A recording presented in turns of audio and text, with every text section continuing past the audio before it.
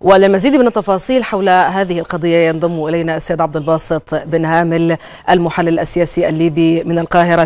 سيد عبد الباسط مرحبا بك. هذه التصريحات من قبل الحكومة الإيطالية. كيف تقرأ سياسيا في هذا التوقيت من تطورات معارك طرابلس؟ هو أولا أود الترحم على الضحايا الذين سقطوا ليلة البارحة في في منطقة أبو سليم جراء القصف الذي آه، استخدمته الميليشيات المسلحة وأود التنويه أن زيارة فايز سراج إلى موقع الاستهداف رفقة وزير داخليته وزير داخلية الميليشيات باشا أغا وآمر منطقة الميليشيات العسكرية الغربية أسامة جويلي كانت بالتزامن مع الاستهداف وفور توقفه وهو حينها يعلم جيدا أنه آه، آه، من يقف وراء هذا الاستهداف ومن قصف هذا الموقع. وللأمانة هذا آه، هذه اللعبة خطيرة يقامر بها فايز سراج ومن معه من ميليشيات مسلحة لاستعطاف الرأي العام والمجتمع الدولي بكذبة أن الجيش يقصف المدنيين كتجربة حقيرة ومؤسفة ومؤلمة وقذرة ينتهجها آه، مثل ما انتهجتها الآلة الإعلامية الخطيرة جدا في عام 2011 لكن عملية الوعي الشارع الليبي اليوم أصبح كبير جدا. الجيش الليبي لم يستخدم القوة المفرطة آه، ولا زال على تخوم العاصمة طرابلس يستدرج الميليشيات المسلحة ويكبدها الخسائر الكبيرة جدا الميليشيات الحقيقة التي ارتكبت مزازر عديدة في سجن رويمي وغرغور وفشلوم وتاجورا. هؤلاء شهود عليهم كل الليبيين للأمانة وبالتالي وجب استئصال هذا الورم الخطير من جسد ليبيا. اليوم نرى الإيطاليين يتحدثون ويتشدقون وهي في إطار تلاقي قطري آه، مع مجموعة الميليشيات المؤدجة والإخوانجية الموجودة في طرابلس من أجل استمرار المعركة. إيطاليا نعلمها جميعا أختي نعم. العزيزة قامرت بمصير بلادها عندما دعمت ميليشيات العمو ودعمت ميليشيات في مصراتة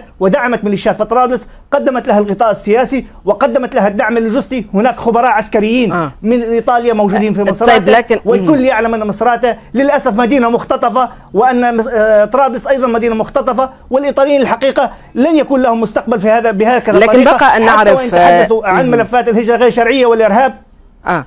لكن بقي أن نعرف سيد عبد الباسط هذا التصريح آه يعني ما هي دلالاته؟ وكيف آه يقرأ؟ ويعني كيف ستكون أصداؤه في المرحلة المقبلة؟ هو طبعا يريد القول أن المعارك لابد أن تتوقف وعلاج المح... المشكلة بالحوار. هل ستتحاور إيطاليا مع الإرهابيين؟ هي لم تتحاور حتى مع المهجرين المهاجرين غير شرعيين أرجعتهم للشواطئ الليبية عديد المرات.